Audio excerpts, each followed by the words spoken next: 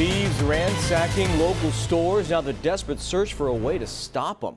Within the last couple hours, crooks hit up a CVS store in Davis again. An off-duty police officer tried to stop them, but they got away. CBS 13's Marlee Ginter is live in Davis with more on this latest theft and the theft and the search for solutions there. Marlee. Elizabeth and Tony, hard to believe, but just minutes ago I talked with Davis police, and as I was writing this story, another set of thieves hit this CVS behind me right off East Covell Boulevard.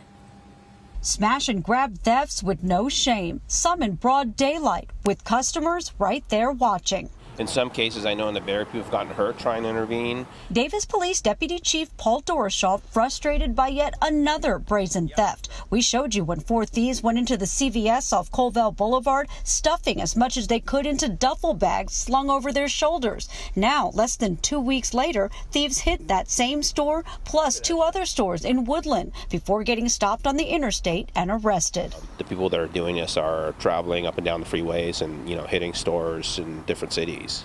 So when you hear that, what needs to be done to stop this? It's a systemic problem, really.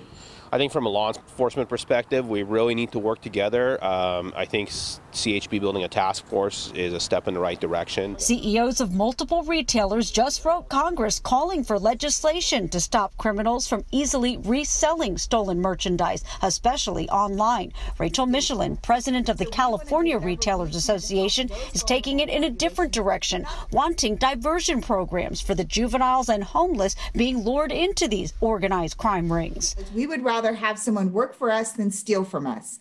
So we want to do whatever we can to help those vulnerable populations not be victimized as they are. Desperate for solutions as thieves step up their game. But now, you know, the last couple of, of weeks that we saw, particularly around Thanksgiving, took this to a whole new level. It's like nothing we've ever seen before.